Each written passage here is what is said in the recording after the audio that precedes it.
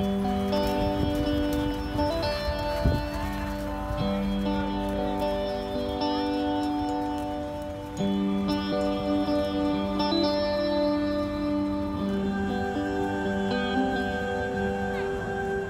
my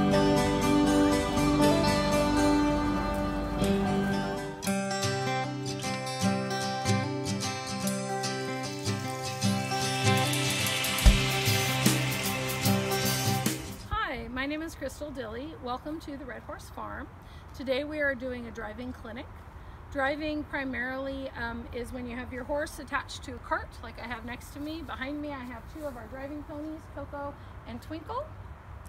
And what we focus on in driving is the horse being comfortable pulling weight behind them, the sound and the sensation of the cart rattling and moving around their body, and teaching them to confidently go forward without a person in front of them.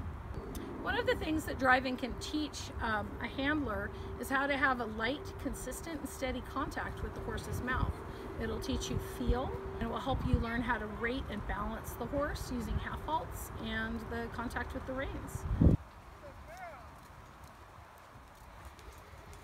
This clinic, we worked a lot on the horses being um, consistent, showing clear transitions in their paces, such as our collected trot up to our more working trot, and in some cases the extended trot. Also on the horses being prompt in their cues, so that when we ask them to move forward, they step right out.